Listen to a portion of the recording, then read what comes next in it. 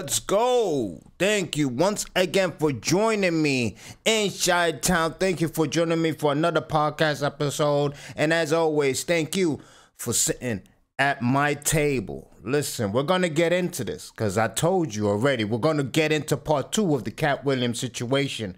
And listen, for all of those people who rock with me and stayed for the first one, even though you already saw the interview, I appreciate it for real.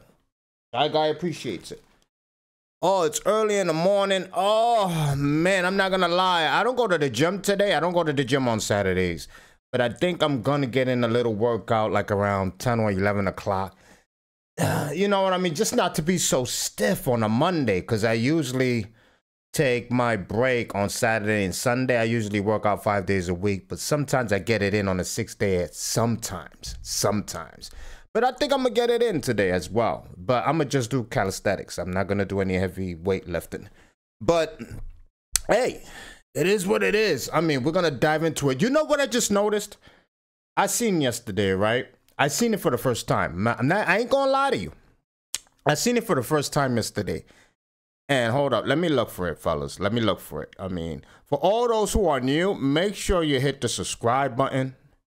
Make sure you hit the like button if you enjoy the entertainment that I'm providing. I really appreciate it. But I wanna I wanna go over this, man. I hope I don't get copyright written or anything. Because I think I don't think that they'll copyright me. But if they do, I'll just delete this after I upload the video. I'll just delete this off of the VOD, you feel me? But I, this brought back so many memories. Before we get into the Katt Williams situation, this brought back so many damn memories. Well, man. Like I just was vibing listening to this. If you don't know what I'm talking about, I'm talking about Killa Cam getting in that freestyle groove on his podcast. And it just was it was that vibe, you know what I mean? I, I I know for all those who listen to Purple Haze and Killa Cam, all them albums he released back in the days when we used to just rock and listen to his music, it brought back memories listening to this freestyle for real, man. I just want to watch. I want to give my small reaction because I'm going to do a separate vibe about this reaction as well. Let's vibe with Killa Cam a little bit. You know what I mean? He comes in the studio. it's all quiet. Look at you know Killa Cam got to come in on dapper with his suits now. You know what I mean? Because he's with the suit game now. Look Look at this, man. Oh. And way he just comes in, oh. And, and I know the, everybody who who listened to Purple Haze, y'all remember that vibe, man. Stop playing. Y'all remember that vibe in Purple Haze, man. And I still rock Purple Haze on my Spotify. For real, I still rock that album. I mean, that album is just memorable, man. For real, man. Let's continue.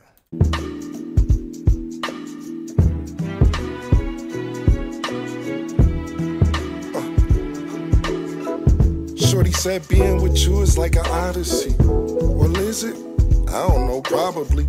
I did a lot of things to stay away from poverty. Roll Mobb Deep cause of havoc made me a prodigy. Oh! And when people say Cam don't got bars, you know what I mean? I'm not saying he's at the level of Eminem and all of them. I'm not saying he's at that level, but I'm just saying the man got bars though. The man got bars. That right there was crazy. Right there. The Havoc Prodigy line. That shit was crazy right there, man. Let's continue. I got to keep on stopping it here and now and then so it can basically lower the potential of my video getting flagged. You feel me? RP bandana PM, my father Gene. Mm. Grandpa Jerry, Grandma Dot, that was my heart and queen. From Andre Hudson shit, I used to borrow jeans. Then Wu Tang made that song, all they called it cream. Thanks, Method Man, that hook made my Beretta dance. And no, I never left no prints. I had them leather hands. 38 of the never jam, just smoke like the Neverlands. Been fly for years, seem like I never land. I was in. That was that was a whole Peter Pan gimmick right there. that was a whole Peter Pan gimmick right there. I, I want to hear it again. Listen, it's my podcast. If I want to rewind, I want I, I get to rewind. So you guys got to stop complaining for real. I'm gonna rewind it I want to listen to that part again. Maybe I rewinded too much. Counting millions in the Sheridan. All brown Shirley for sure. Sure made me prevalent. Way before Moderna, I gave fiends they medicine. I'm from 140. If I did this out of tenement. I rode the 101 and 2, the M1 bus, 3 train, 4 train, Brooklyn. They used to bum rush my block. It's so dumb dust. I had a poppy to front us. I let this money become me. Let me write to Columbus. Got with the gunners, the runners turned out humongous to numbers. We had the winner when Jay was doing the summers. Braun, still in high school, dunking and hitting jumpers. Kept Marvin Rich with him. Leo Rose like, why you dump us? Saturday's deposit, chase a SunTrust. Word to Donald that no one will ever trump us, us. About to put that in my bio. I'm a Harlem nigga, got accepted by Ohio. How? Oh. I'm telling you, man, this takes it back, man. And I fought with it way too much. I didn't even get to rehear my part that I really like. But damn, man. Just just the whole vibe, man. Just just makes you chillax, man, for real, man. And, and people, I mean, people never really gave Cam his roses though. And I'm not and yeah, he's not at the level of Jay-Z and all of them dudes or whatever, but if you rocked with his music back then, if you rocked with his music back then, you would appreciate this freestyle right here. You would appreciate it. Of course, I was really out there with them. Shot the buck in my nerve just before the Alka River. Man, the stamp on the dope was dope. It says Styling River. Man, they smoke good, real good. I had pounds to give them. I lived in the residence on 161, after Club 69. Niggas had to get their gun. If you fucked in the parking lot, there was a hit and run. Till the boys came, this shit was fun. Yeah, it was. Anyway, I told baby girl, grab your gear. She like, goddamn, Cam, I ain't even wrap my hair. Plus, I got work tomorrow. My schedule I have to clear. I said you offering information. I ain't asked to hear. Curved up. Man, I can't even falter. And while leader on cause, I never see her alter. You know who I am, Cam, aka Culture. Saturday Night Fever, but the revolver's on Travolta. I the that was simple, but you know what I mean? Oh man, I mean, damn. I got surprised by this. I got surprised by this. My cousin put me onto this. My cousin put me onto this. Say, yo, you gotta listen to Cam. You know what I mean? Cause I remember back in the days, right?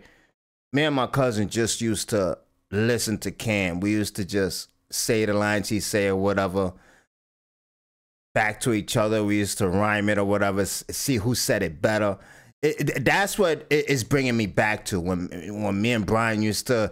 Because my brother put me on to Cam when I was younger. My brother was like, "You gotta listen to this dude. This dude is mad nice. This dude is this and that and the third. And this is when Cam was underground. When Cam was throwing out music. Remember when 50 Cent came out? When 50 Cent was doing a lot of underground music, he came out. He started saying a whole bunch of shit, and people was like, "Who is this dude? He killing everybody in the game, and he underground." That's the way Cam was. And then Cam obviously just came out or whatever, and my brother put me on to him. And then my me and my cousin ever since we always listened to his music. We used to be in the gym playing basketball. We used to sit down with our Walkmans when the Walkmans were popular. We used to just vibe with the Cam music, and then the CDs came out. I mean, listen, the modern kids of today never know the struggle for real, and it's just this brings back that memory, that love, man. I, I mean, to be a kid again and listening to Cam it, this is that vibe music, man, for real. Kind of like a romance, for real. Snake rats and vultures. How you hate on me and murder, nigga, just applaud us. Everywhere I went, I made Harlem look gorgeous. Pull up on these diamonds, Mortal Kombat, flawless. And my suit stay like eight times your mortgage. Emmys on the way, 40 seconds on the Forbes list. I'm talking tunnel vision, yeah, tunnel vision. I sold bundles and I went down to the tunnel flipping. On my block, you had to rumble, cutting fumble missions. Flat screens, now I had antennas on the television. Shit, I'm right where I need to be. Welcome back, season three. It's killer, bitch. that was the end of it. Oh man, that that flow. I'm gonna listen to that shit again when I'm working out. I'm not gonna lie to you. Listen, I'm not gonna lie to you, man. I'm gonna listen to that shit again when I'm working out. I mean, oh, that that shit was flawless, man. For real, man. That shit was flawless. I don't know. Let me know down in the comments what you think. I'm gonna do a separate reaction VOD to this. And um, I want to see your comments on that one as well. If you don't leave a comment on this, but obviously the comments that I want you guys to leave is about this Katt Williams situation. We're gonna dive right into it. because this is part two and the final reaction to this Katt Williams interview. Because listen, the shit was two hours and 46 minutes. You think I was gonna go through all of that shit in one video? Hell no! And edits would have been crazy. And for real, listen, the Premiere Pro, that shit would have been taking long to freaking download. I'm not doing a freaking two hours and 46 minutes in one sit down. Absolutely not. Listen, with the things I gotta go to, and I had to go to gym yesterday, no, wasn't doing it. But let's continue with this Club Shay Shay podcast with Katt Williams as he gets right into the situation with Wanda Sykes. We're going to start right there when he talks about Wanda Sykes. If you I don't know who Wanda Sykes is, I don't know what cave you've been living in, but we're going to dive right into it right now as he discusses the situation on an interview that went on with Wanda Sykes. Let's go. Wanda Sykes and Wanda Smith are two separate people. I mean, And Wanda Smith. Wanda and, Smith. And I had only No, said Wanda one name, sir. Wanda, Sy- Wanda, Wanda Sykes I'm is cursed. amazing. I love Wanda. And I agree. I love Okay, Wanda. Wanda That's my Smith. girl. Mine but I, well. I, Wanda Smith, then I was mistaken, just as Shay Shay was mistaken as well as Wanda Smith. I remember on the radio, you went on a radio interview. If I'm not mistaken, that's in Atlanta. right. And you came on there with seemingly good intentions. And Oh, she yeah. attacked you. It wasn't just that part. It was the fact that before I go in there, she has a conversation about, okay, now, I just want to talk to you because you just an Emmy for the city of Atlanta, and this is in Atlanta, and they just want to hear about the Emmy and hear from you and to thank you for what you did putting the city on. Right, okay. And we won't talk about your kids. We won't talk about jail, no cases. We ain't gonna talk about none of that. Right. And immediately gets in there and goes the opposite way. You can't flip up on me because you're an inferior comedian. I'm going to destroy you and I'm never gonna call you out of your name. I'm never gonna say anything disrespectful to people that look like you. I'm, I'm- it's a very thin line I got a call, but this lady is trying to embarrass me in front of a largely homosexual fan base. That's why she got canceled gay people don't take it kindly that you would, as a derogatory, call me gay. Gay people don't feel like it's derogatory. So why are you trying to shame me with something in a community I don't even belong in? There's no gay people saying I belong over there or been over there. You did But. I have That's crazy. I really don't remember that interview. That's crazy. But I, I the, isn't there some type of contract contract that goes into your interview? Like if you wish not to discuss certain subjects when you go into an interview, and they go against it and ask you those questions anyway, aren't they liable in some sort of way? I mean, let me know down in the comments. I thought that they're they're liable because who will go into an interview knowing that they can be vulnerable if asked the certain questions that they wish not to be asked. I, I'm, I'm just saying, I'm just calling it spades and spades. I would not go into an interview knowing that they have a potential, a- a potential opportunity to ask me a question that I wish not to answer in front of the pu- public. You know what I mean? So I don't know. Let me know.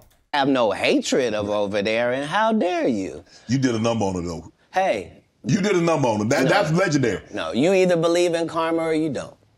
Because I didn't even know any of the stuff that she had done to my fellow comedians until afterwards. I just know she that it was a setup. Right. And and, and remember, they they tried to kill me this same weekend. Not in jokes, with a real gun in my real face on real camera. Understand I'm losing my life for participating in something that goes along with my job. Like, it's two comedians. What do you mean?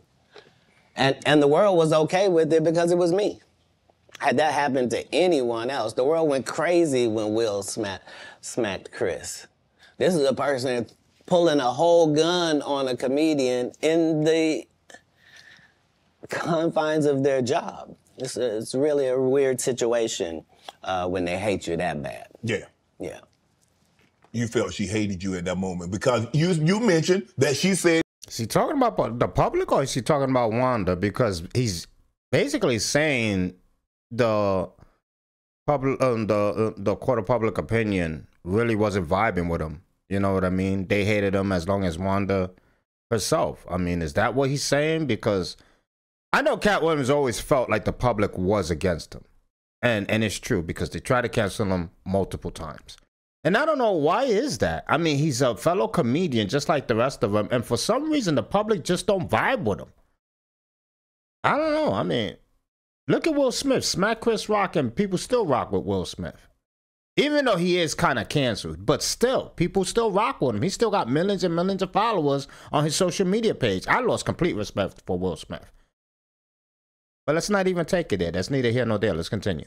It was going to be very professional. Oh, you won an Emmy. Congratulations. You put the city on. You own for the city. Yada, yada, yada. And now, did she mention anything about the Emmy on camera? I believe you saw the video and you know that none of that took place. Shay, Shay, you See, know. The, i- the issue is that um, all the comedians have to come do these radio stations Right. because you have to sell your tickets, and so that means you have to go to the radio station. Yes. I don't go to the radio station, and I don't make posts to sell tickets. I just don't. So you've not seen me. I'm. I haven't. I'm not here in some subservient position No. where somebody sent me over. I'm. You here out of the kindness of your heart. You are. No, no. I'm saying in, no, but in no, the radio. interview Yeah, yeah, yes. situation. Yes. Yeah. Like, Yes, Right. for sure. Yeah, and this person knew I wasn't there for that, or. Yeah, it's But how hard? Because you have to understand, she is a female, and so you have to be careful. You have to handle her with kid gloves. Sir, sir. you What? want to go ahead and take that out? You don't want to be against equality, do you? No, no. What you just said was very unequal, sir. Bruh, but I you think maybe you've had enough of this. I think Katt is sarcastic there. I think he's being sarcastic there. He had to take out the kid gloves because she was a woman. Like, I mean, after she disrespected him. I think that's sarcasm. I think this is sarcasm here. Let's continue. Maybe it is. Maybe I'm wrong. Because I think I just heard you say But can you? that women are not equal and should be They- treated unequally. they and are. I, they want to be treated. you treated. mean as a equal. comedian? No, no. They want. Listen, you understand, and I understand. Yeah. In certain situations, they want to be treated equal. Not all situations. True, true. And and what part of what you saw her get? Oh, she What- deserved everything no, you no, gave hold her. on. What part would have been different if she was a man? Hmm. Good question. It would have just been more vicious. Yeah, that, that's that's my Mm-hmm. point. I that's took- my point. took- That is facts. It would have been way more vicious. There's a lot of things that um model ladies of today, and I'm not saying all ladies, before everybody get their panties in a bunch, and before the simps get their freaking underwears in a bunch. But there are a lot of things ladies want to be treated equal, and a lot of things they don't want to be treated equal. They choose and pick what benefits them. And I'm talking about certain ladies. I'm not talking about all. And this is why Katt sarcastically said to Shannon, Hey, do you want to take that out? Because you know how sensitive people are. I mean, equal rights and left, right? I mean, hey, took all the vicious and venom away took it. because I didn't have any. Plus, I understood I'm not trying to offend black women with short hair. I'm not trying to offend heavyset women.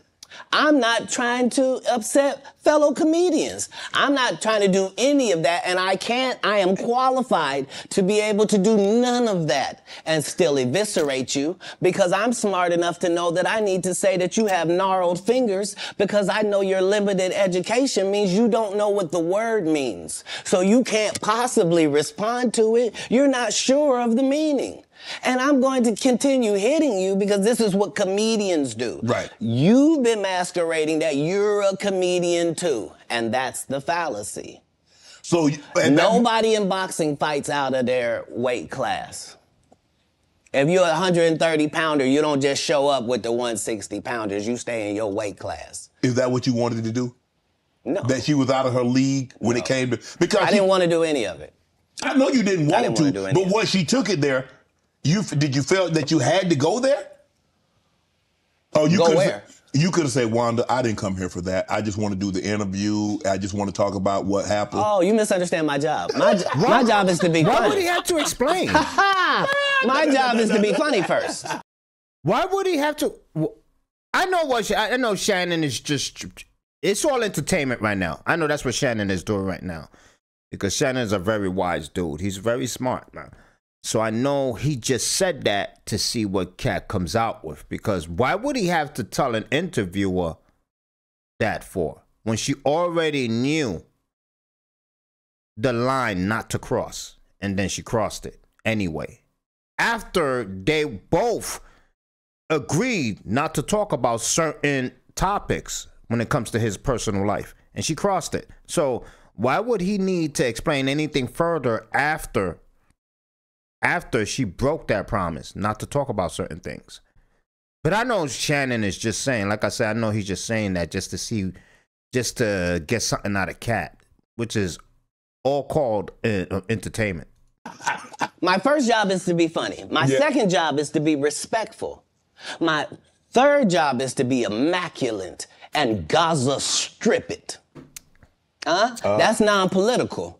I'm saying if you do it, you let a terrorist accidentally touch over here, and I won't stop burning you down until there ain't nothing left. It'll literally be rubble on top of rubble, and I'll still be bombing. Why? Because that's why you should mind your business. This is what F around and find out is about. Right. Have you ever been booed, Katt? Um,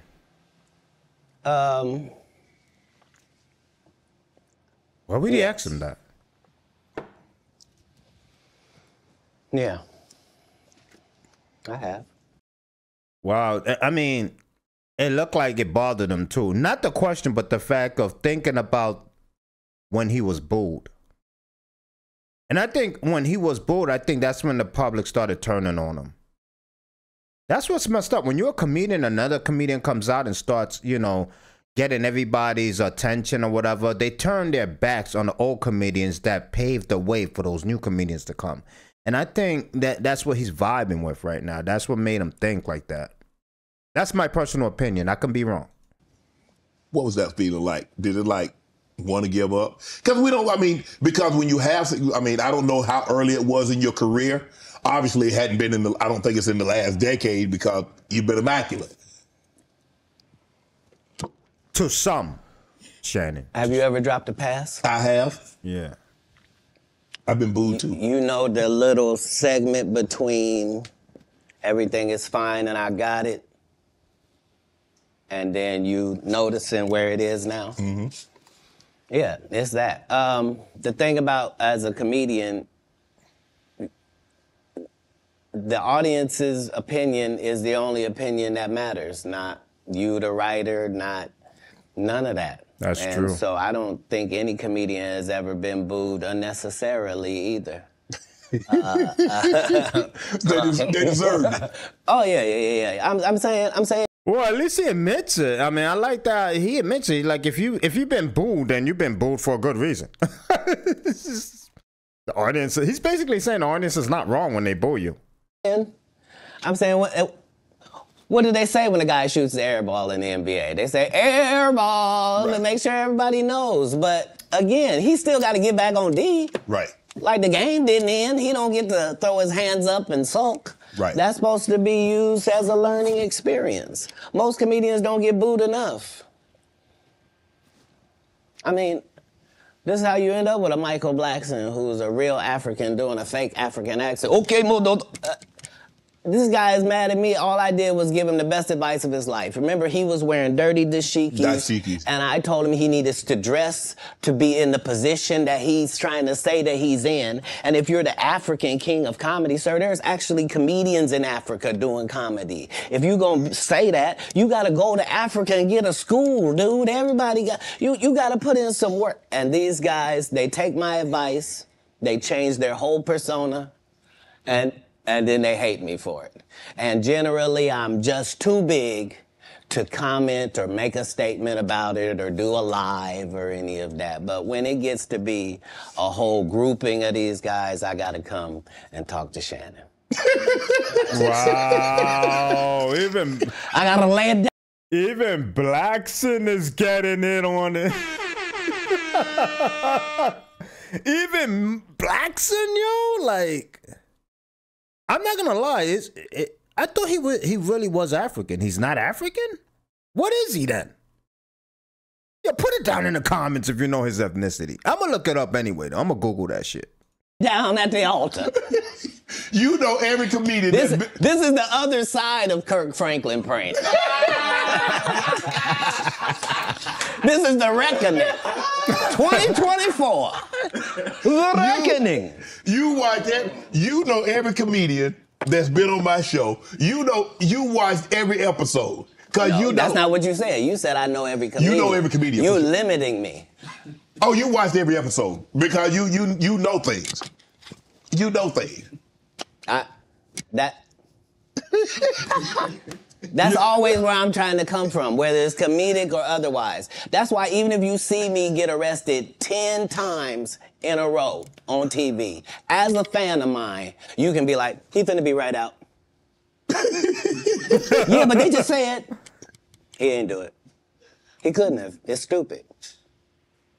Why would he do something stupid knowing he got to come back and talk to us?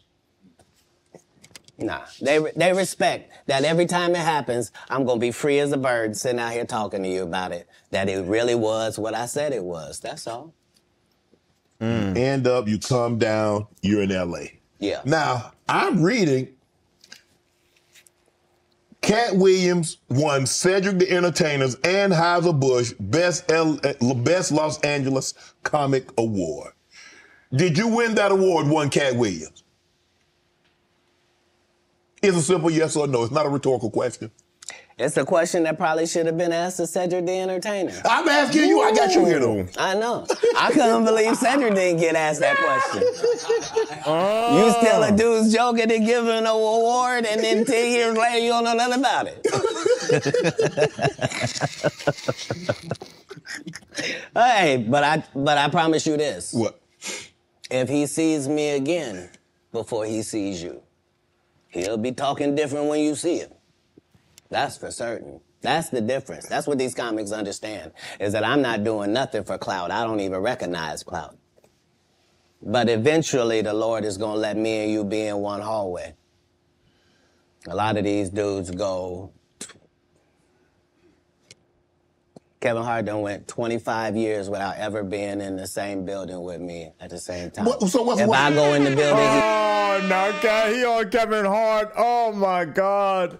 And when Cedric was in that interview with Shannon Sharpman, he said he's seen me a hundred times. I, I, I that's bullshit. He's seen you a hundred times. Like I, I don't believe that shit at all. That Cedric, I, I- and a lot of people's gonna say it's my opinion. You don't know that. But, well, why you taking Katt's side automatically? I'm just saying, who seems like they're telling the truth more, Cedric or freaking Katt? I'm just saying. I'm just saying. You walk out, you've never seen us in the same building ever in 25 years. Like, it's like that. Why? Why? Yes, Because why? I'm really the product. It's not what you think. I am never under the influence of anything. I'm always in my right mind.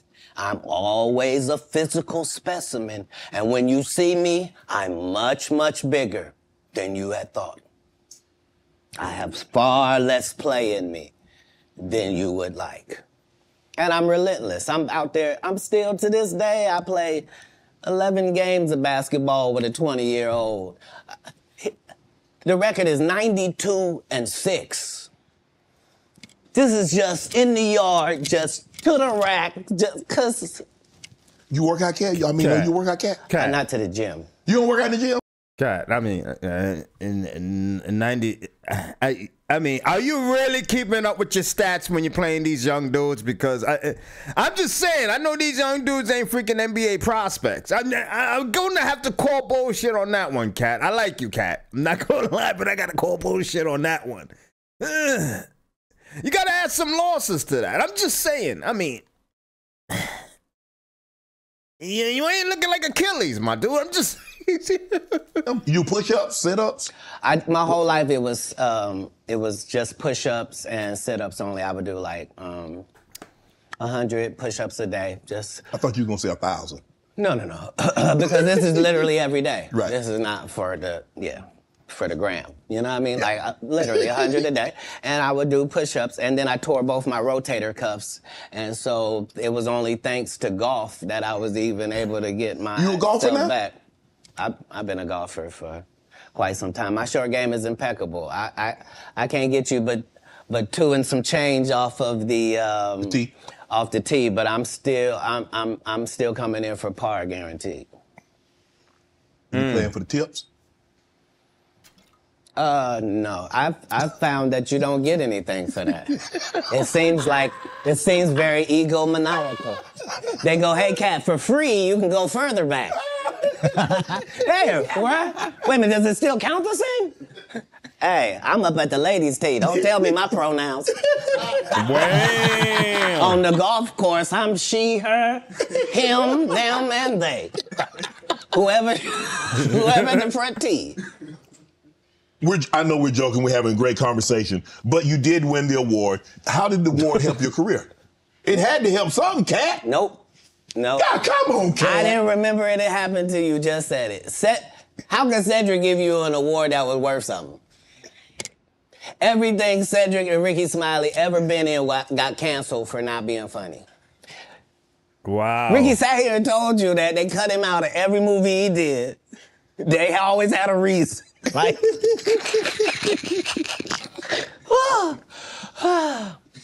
that's why I'm funny, because I'm a happy person. I laugh all day long. I can't even imagine the misery of these bums. Wow. Just to not be good at what you do, not work hard at what you do, but have to act like you the best at what you do. It is crazy. It's crazy. But they be touring. They they they be doing like hundred shows a year.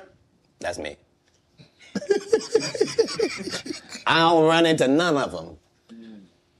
That's what I'm saying. If you a Faizon Love fan, you mean you've been a fan of him for 32 years, you still waiting on him to do his first special? You mean to tell me if Steve Harvey, your favorite comedian, you mean you've been waiting for him to do stand up for 15 years now? I mean, Steve got a, uh, got a, a lot of other. DL, DL still out there. None of those irons matter to stand up. Who cares that they wrote a placard for you to do Family Feud on? Like, you're you're successful because we're surprised you can talk for a living and it's entertaining that you're gonna say some funny country things. But not a writer. Right. Not a writer. How did you develop? I'm gonna say it again. Steve Harvey is not funny. Not funny. I don't care what anybody says. That's my opinion, and I'm sticking to it. And there's nobody down in the comments. If you choose to write down in the comments on my YouTube channel, make sure you subscribe. That you can convince me that Steve Harvey is funny. That's all I'm gonna say. Money Mike and get it. I mean that. I mean everybody talk Money Mike. Is how? How did you come up with that and said, you know what? This is how he should dress. This is how he should talk. This is how he should- look. This is the kind of whip he should ride. This is how he should talk. So if you'll remember that that was my first movie, just understand that what I did then, I've done with every single role, whether it was an Emmy-winning role or whether it wasn't. Whether I was playing somebody homeless, whether I was playing a dirty vagabond on Atlanta, whether it was an eccentric guy in First Sunday, regardless of what the role is, the first thing I do is erase me from it. Okay. So anything that I would naturally do, that's what I'm not going to do Mm-hmm. Okay. because I'm playing a different You're character. playing the character. Okay. Right. So I then create this person based upon real life circumstances. So I don't have to wonder what a pimp thinks because I've been in that position for a little while.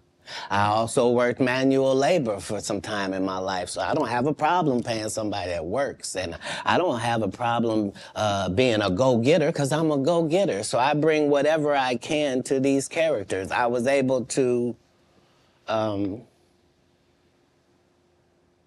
the first week that I got the script, there was a, a pimp guy that used to be a pimp, but he wasn't anymore. He was a rapper now, and his name was Mac Minister, and he um, had been a pimp and was going to be a rapper. And I had never done a movie before. I was a stand-up, and I'm getting ready to do the movie.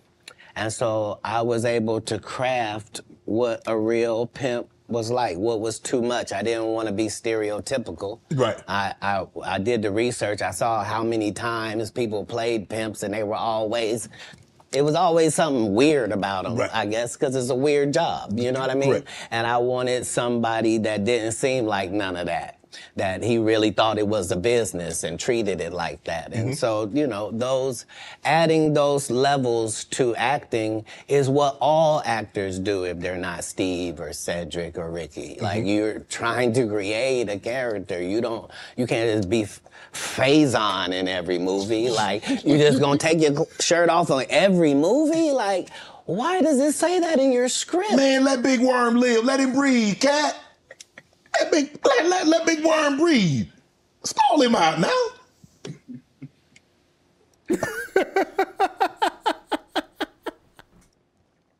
And all those people that he mentioned, yeah, you don't want to see them with their shirt off. I'm just saying. You having an unnatural allegiance to losers is not like you. No, I ain't got no allegiance to the man. But you got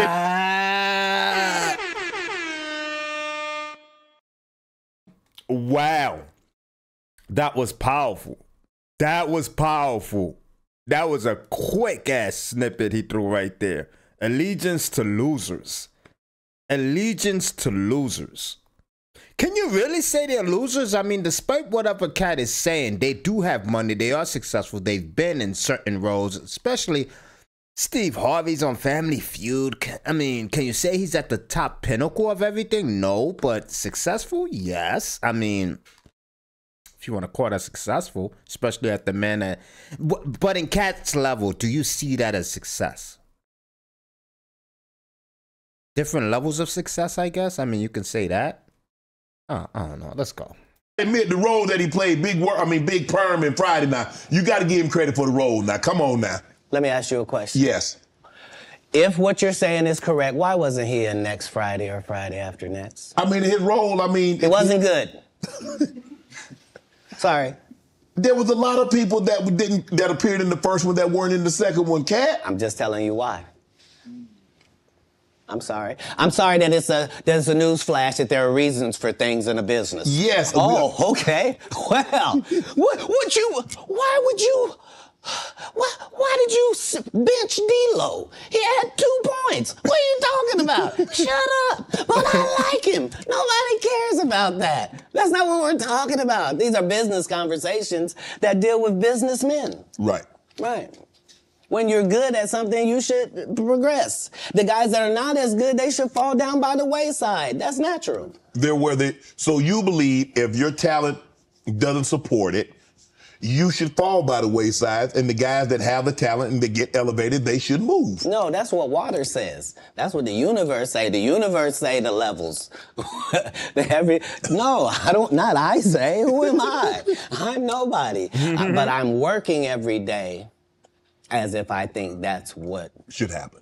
is how it should be. And I'm choosing comedians that also write and work hard and don't steal other people's material. And I'm making sure that they all I remember um, Cedric said that's part of the business, stealing other people's material.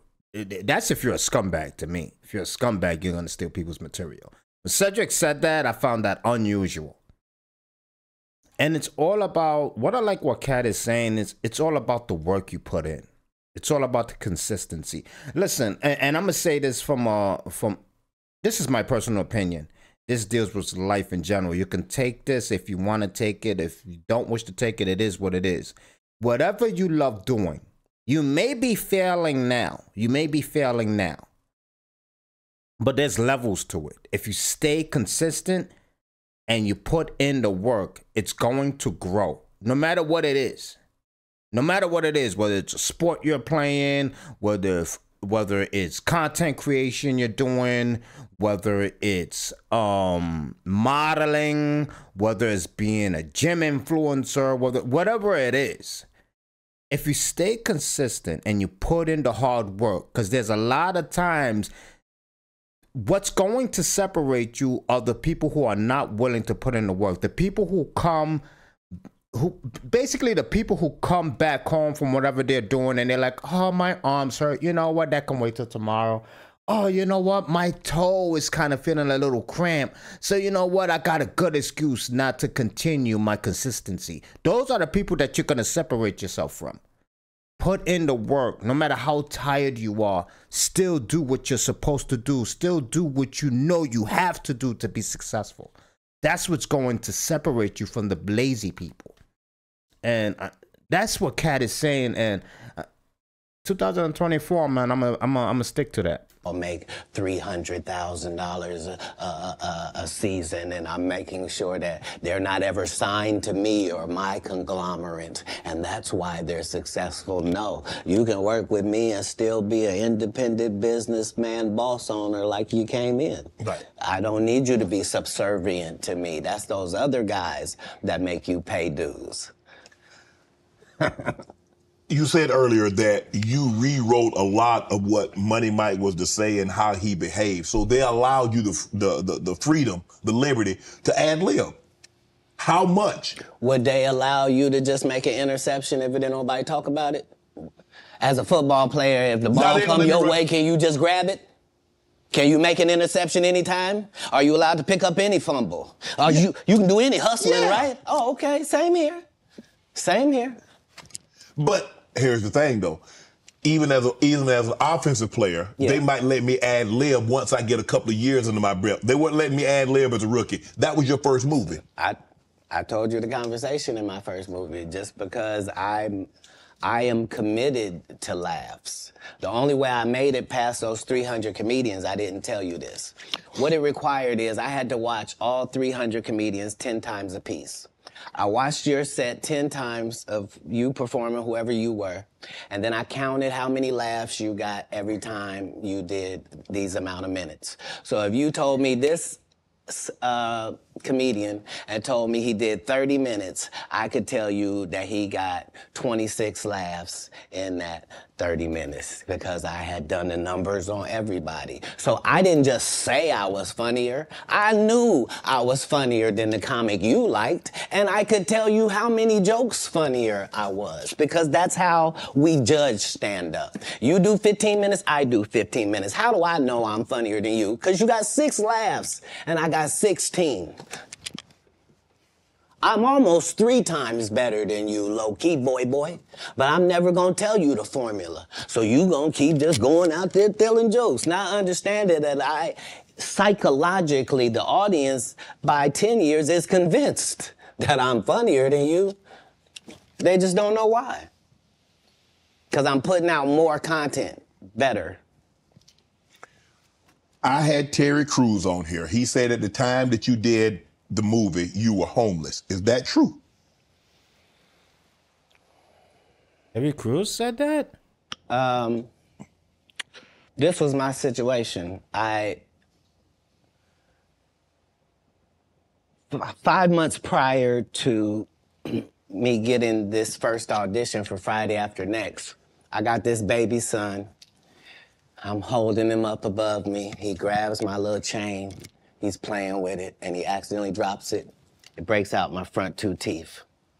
I'm in a situation now where when I go to the dentist, they telling me this gonna cost thousands and thousands of dollars to fix this right. They're not telling me what it's gonna look like. I go get an estimate with no money involved, find out what I need to do. They find out you got a tumor in your upper jaw, so we're gonna have to do a whole surgery for you. It's gonna be a hundred bands. I don't have it. I don't have it. And um, I'm only gonna have this check from this movie. So while I'm doing this movie, we live in this trailer. Um, this is where we live. So when they come to work at five in the morning, we already there. When they leave at night, we still there. We just double back um, because we understood that this is our one opportunity. Um, and we have this opportunity to change our lives, just like a young man going for the draft. Right. We can actually get in the league with this. There are 30 comedians on this cast. They're all magnificent. This is the holy grail of the situation. Um, so yeah, I was able to make sure that because it wasn't just my first movie, it was KD Aubert's first movie. It was Terry Crews' first. Listening to this whole shit makes you like and you you see when You saw when Sharpe brought it up that he was homeless. It hit him. It really hit him. And I didn't realize Terry Crews brought that up. I, I don't know why the reasoning. I mean, I, I'm not saying nothing about Terry Crews. I'm just saying why why was that brought up? That Katt was homeless. Is there a reason? I mean, that's so personal to be spreading that when it's not your situation. I wonder if Katt was offended that Terry Crews even mentioned that. I don't know. I mean, I wouldn't want nobody to talk about that shit unless it came out of my own mouth. I don't. Yeah, absolutely. I was the leader of this group, which meant that we did, we didn't do their rehearsals. They did rehearsal. We did our own rehearsals daily to make sure that we were at the level of professional actors, which is what made it so egregious. That guy saying, I was supposed to, you were supposed to what? Katt, he did have a good part in the movie, man. The Santa, Santa Claus was funny, man. The dude said the entire time we are filming, I can't play this role. They got a bandana over my nose and my mouth. My family not even gonna know who this is. so yeah, tell your story. Wow. He's Ted, mm. uh, Terry Crews also said that you guys had a lot of had a lot of conversation that this was your opportunity and you needed to seize this moment. yeah.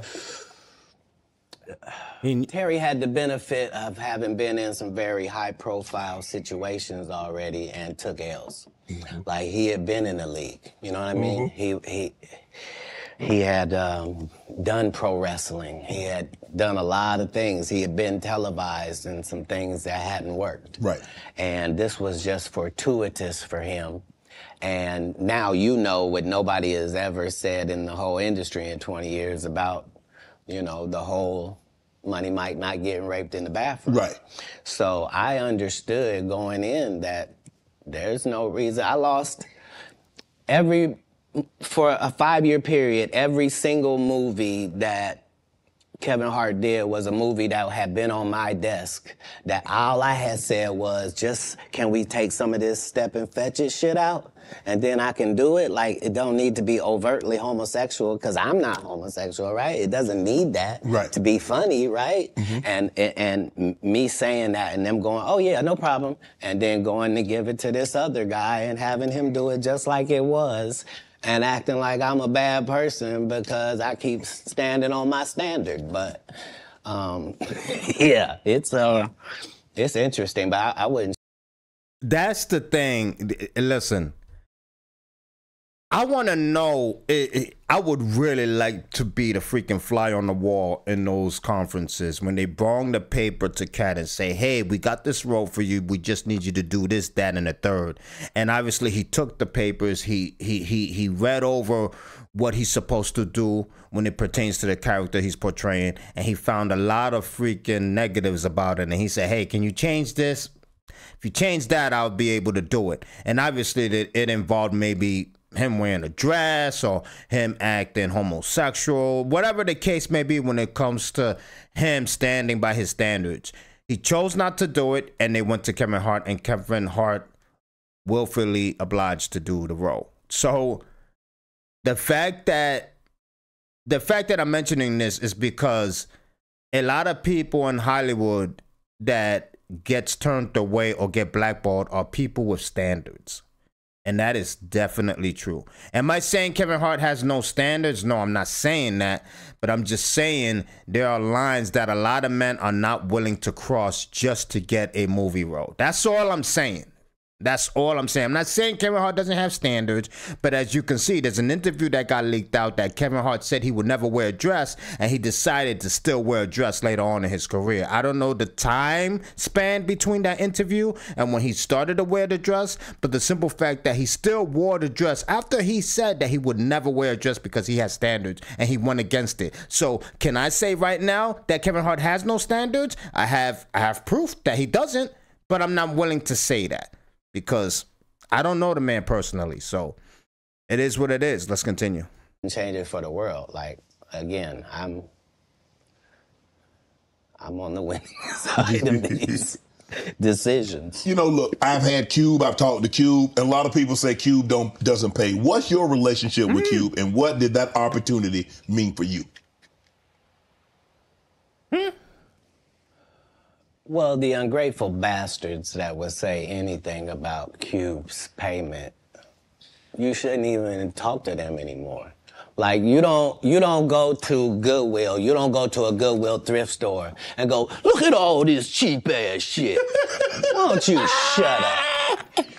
Why don't you shut up? You could have went to Hermes. Why you didn't go to Balenciaga? Why you didn't get a bowl of the ball Balmain? You want to have that conversation? What you mean the independent black dude who's filming it partly out of his fucking pocket? What you mean he didn't pay you enough? They weirdos. Weirdos that felt like they earned the opportunity because they were big. No, no, Yeah. I understood. That ain't no two hundred million dollar movie. Well, I mean, how much did you expect you was gonna make? Well, I made enough to get them teeth fixed just like you did. Yeah. So, so I, it was no harm, no foul. I knew that I was gonna go from there, and there was no. There was no turning back for Katt Williams. Well, here's the thing. Um, I like that he had Q's back right there. I like that. And for the people who actually said that they didn't get paid enough for the role, come on now, stop. Stop. You didn't get paid enough for the role. Stop it. Oh man, let's continue. I wrote it. What I'm saying, I'm saying if I did it and I did a good job at it, you can thank me. I was involved. Right. I'm not gonna come later on and tell you I never even read the whole script. So how you know what roles? What? What do you mean you never read the? like you like. These guys' whole job is to present something, unfortunately. Mm-hmm. And I'm just not a presenter. If you ask me a question, I'm just gonna tell you the truth of how it went. Would you be willing to do another Friday? Oh, that would be fire. Cube already asked me to write it. I was supposed to have been writing it. That's this is what these guys are mad about. Like we lost some great people. We need we need another Friday. We need another Friday. And like he said, he's about to say, I know what he's about to say because obviously I, I just heard it. All right, so relax. A lot of people passed away who was on the original Fridays and stuff. So it will be a difficult a difficult movie um to push forward because the, the you know the people that you lost. And Chris Tucker, I believe he's a Christian now. He's not willing to say a lot of things he used to say on the movie. So it's going to be a very hard movie to make to bring back that old school magic that it once had. So I know Katt Williams will be having a hard time writing that movie because he's like, damn, Chris Tucker, we bring Chris Tucker back. He's not going to be able to be Chris Tucker the way he was in the original Fridays. He's not going to be able to talk like that because of his standards, because of what he stands for now. And obviously, Katt Williams will respect that because Katt Williams has standards. A a man with no standards would not respect that. AKA, I'm not right. I'm not going to say. I'm not going to say the man's name because I know y'all going to protect him. I know that, but I'm just saying. Um, Katt Williams has standards, so he's going to respect that. So that movie would be really hard to make and um I would really like another Friday. I would. I would. people before this movie could come out regardless. Right. And so, yes, there desperately needs to be one. Um, um, but um, we miss John Witherspoon in a way that can't really be quantified, if I'm Yup. being honest. with you. Exactly. And um, the Chris Tucker that we got now is Epstein Island Chris Tucker, I- well, not Smokey. What I just said. What I just said. This is the first time me watching this interview with you guys. A lot of you guys already seen this interview. A lot of you guys already seen this interview. And if you're rewatching it just because I'm reacting to it, I really appreciate it. Thank you for sitting at my table. I really do appreciate it.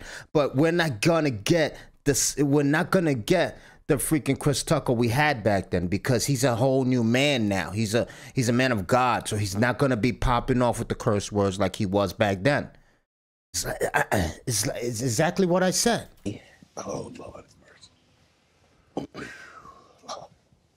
Whew. If I didn't know no better, I'd tell you he's the greatest. I don't care what you say. Radio. To be confident and not delusional is a real skill. Most of these confident people we see is really delusional. Well, you don't think you don't think they asked Chris Tucker to come back in the second in the sne- in the second Friday? I want to hear this. Smokey, Smokey was all in fr- Smokey. There ain't no Friday without Smokey. There is no Friday without We all agree to that, and there's Yup. no next Friday without Friday, and there's no Friday after next without. Nah, Friday. we talk about the road because you said that they don't. Here's the thing. Okay. Here's the thing. Come on, let him. Let him. Chris was allowed to make the decision. At the time that this is happening, Katt Williams is known for smoking weed.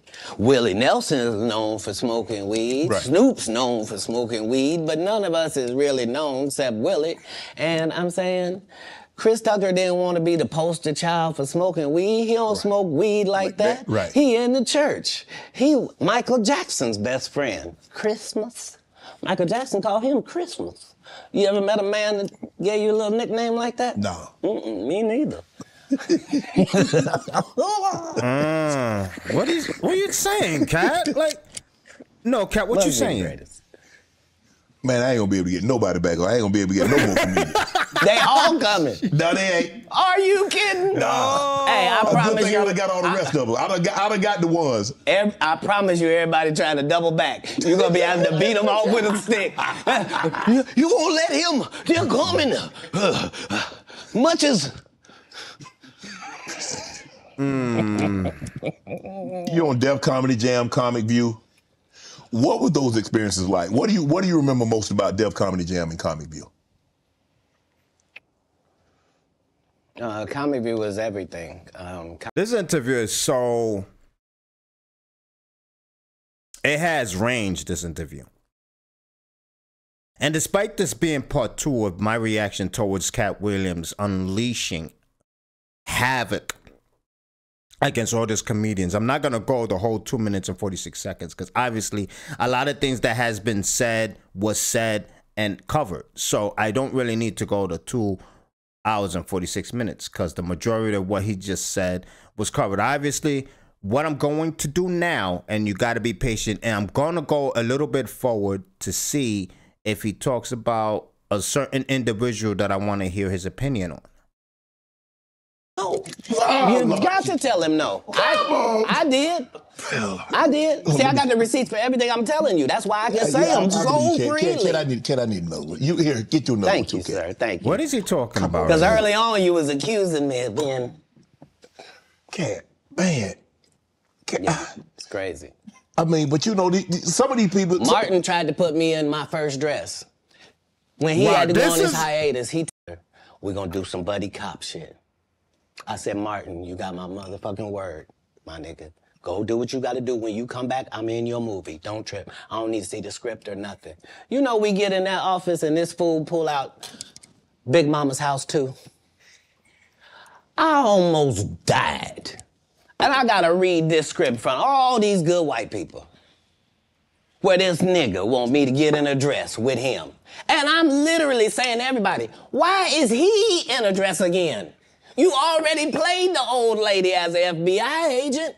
We can play anything now. We can be playing a dog catcher this Yup, time. this is Why what do I we wanted need to be to in a dress? And I get so mad, I say, you don't want me. You want Brandon T. Jackson. And that's who they went and got. Twice I said it, they went and got him. Just like I'm telling you, I had that other dude's work. I had all of it. All I did was say, I want to punch it up so it's not offensive to real niggas. And that's how I got in this position. I sure hope I have uh, Club Shay Shay after this. Year. It's going to be in a dimension it's never been. Yeah, it's gonna be. It's gonna. The greatest thing floating in I might be out of 2024. Mark the business. word. That's crazy because you say that to Katt Williams and then you come out with Big Momma Part 2. There's a lot of people, I mean, I don't see how these, and as you can see, there's a lot of black actors that were in a dress. The Rock was in a dress, Tyler Perry in a dress, obviously Martin Lawrence in a dress. It's like so many, why they gotta be in dresses? why when they bring the script to you and you see the script and they're like you got to be in a dress why would make what would make you go i'm cool with that that's one thing i do respect about Katt Williams. Like you ain't you is not putting me in a dress. You not putting me in a dress. Period. Let's change this shit up. Let's like he said they could have played anything else anything else why we got to be in a dress again Lord have mercy. There's no way. In a in a whole different realm of business. Oprah coming next.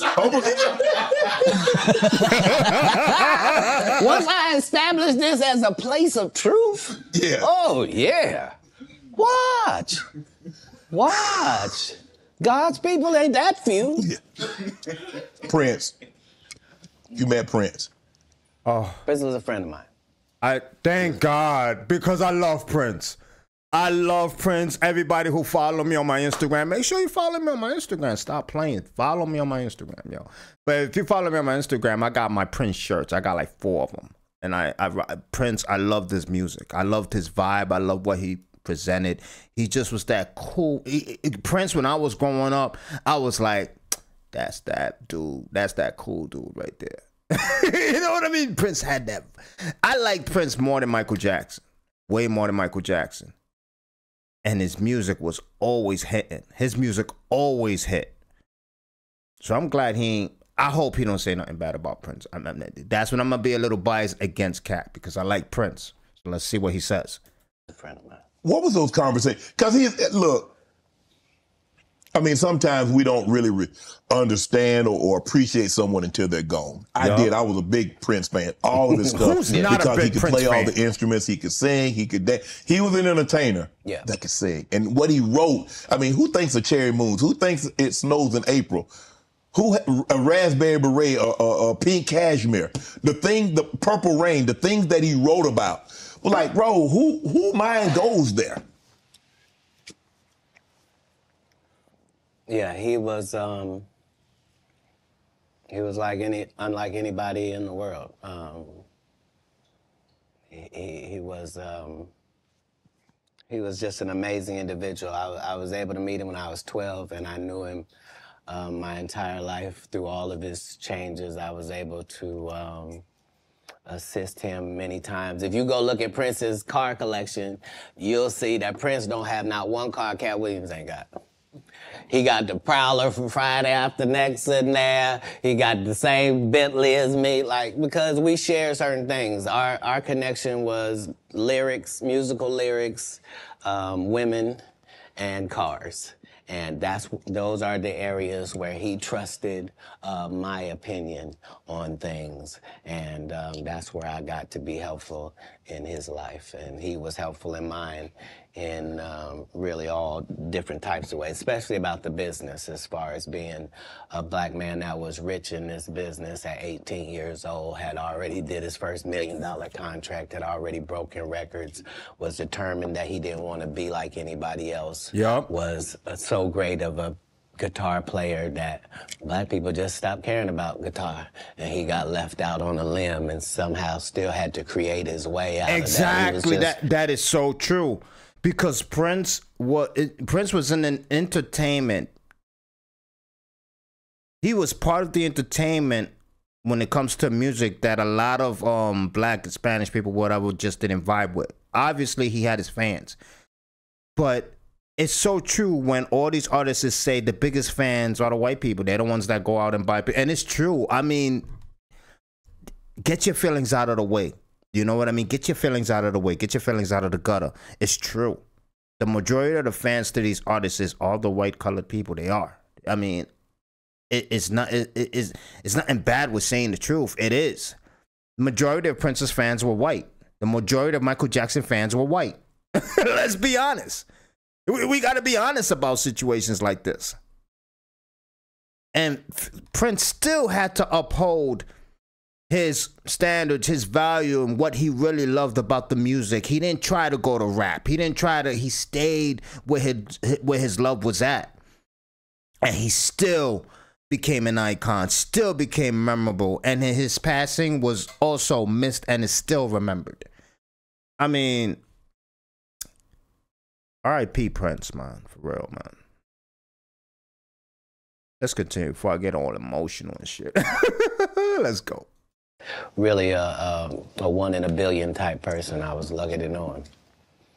now there are specials and the streaming. Um, I don't know. I don't think there's as many. and There's no DVDs now.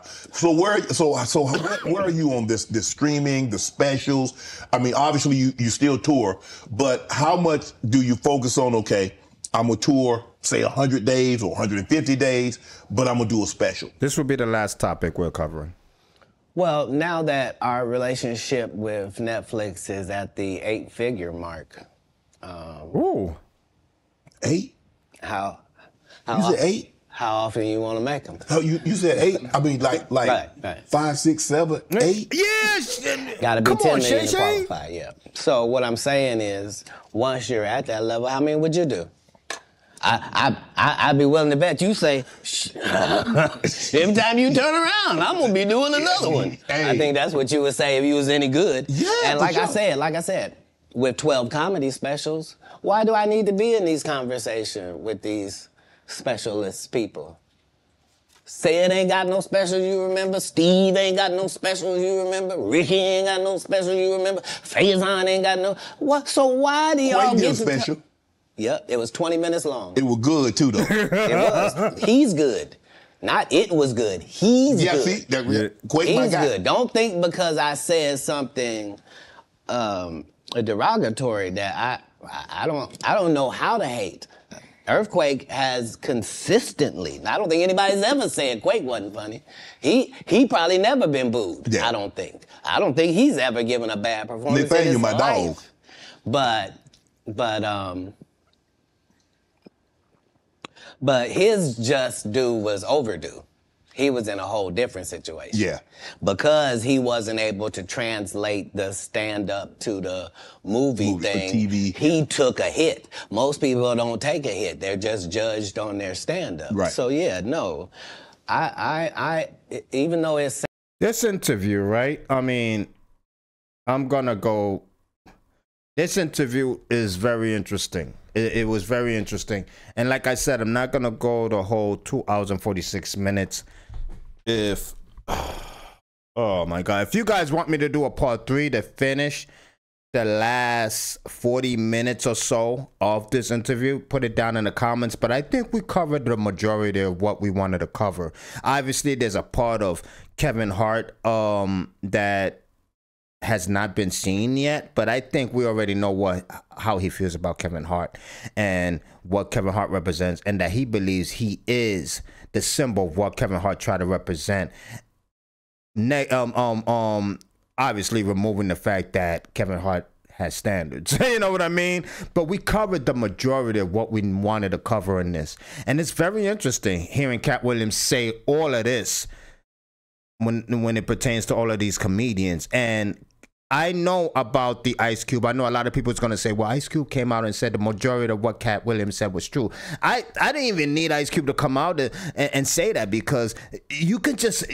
I'm not trying to say I'm part of the X Men or the Avengers. I'm not trying to say I have mutant powers of telepathy. I'm not trying to say that. But you could just tell Katt Williams is being honest. You could just tell that he's being honest, that he's not bullshitting about none of this crap that he's saying. Not not crap, but you know what I mean. You can just tell he's being genuine.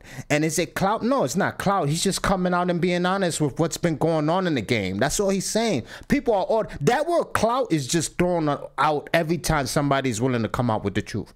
That word is just poison and is used consistently just to freaking downplay somebody who's telling the truth. And it's, it's such bullshit. But let me know what you think about the Katt Williams situation. If you want me to do a part three of this whole scenario, put it down in the comments. Hey, come out with part three. We want to see it. I'm, if I see enough comments saying that you want to um a, a part three or whatever, I'll come out with part three. It is what it is. I'm not gonna watch the third part just in case you guys actually want it, because I want to be genuine with it. I want to watch it for the first time the same way I watched part one and part two for the first time. So let me know. Let me know what you guys think. Anyway, thank you for sitting on my table. I really appreciate it. Make sure you subscribe to my YouTube channel. Make sure you follow me on my podcast. Make sure you follow me on TikTok as small snippets of the podcast will be displayed there. So you can also comment over there. And also, my Instagram, my social media platform that I basically um, put my everyday life on. As always, I thank you for sitting at my table. This is Blac Shy Guy. I'm out of here. Peace. Arch criminal who must be put away. Another innocent victim of homicidal maniac.